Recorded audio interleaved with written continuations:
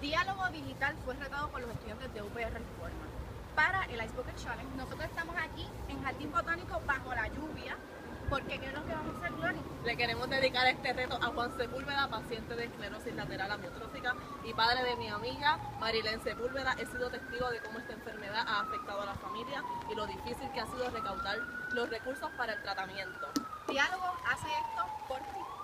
Los apoyamos y los queremos. ¡Que venga el agua! Que venga.